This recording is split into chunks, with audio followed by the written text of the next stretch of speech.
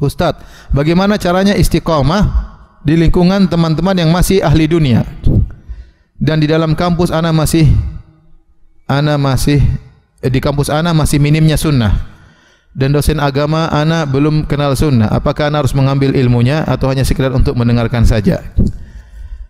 Ya, antum supaya bisa istiqomah di luar kampus antum harus berusaha ngaji yang benar.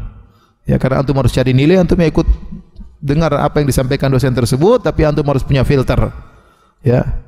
Contohnya seperti saya saya baca buku-buku ahlul bidah saya baca buku Mu'tazilah saya baca buku Mu'tazilah saya baca buku Asy'ariyah saya baca buku Maturidiyah.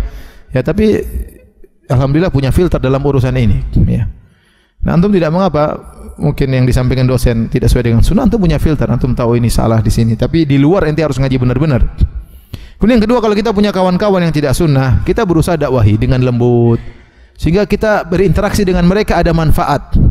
Kita ingin mereka yang terkontaminasi dengan kita. Kita ingin mereka tersinkronasi dengan kita, bukan kita yang tersinkron dengan mereka. Jadi jadikan sarana dakwah. Sabar mungkin mereka maki-maki ente, Wahabi lah, apa santai aja, jangan cepat emosi ya. Ente bilang apa tadi? Enggak usah santai aja. Santai aja sudah. Enggak usah santai aja, enggak usah. Tenang aja. Bilang Wahabi itu biasa. Ya. Ya, nabi-nabi dulu dibilang orang gila, ente masih dibilang wahabi saja marah-marah. Santai aja, biarin aja. Tetap aja. Jadi interaksi dengan mereka dalam rangka dakwah pelan-pelan, ajak makan, kemudian kasih obrolan-obrolan, kirim klip-klip video yang bagus-bagus dari yang yang yang sederhana tentang adab, tentang rumah tangga sampai dia tertarik sama ustaz tersebut, mulai naikkan apa namanya?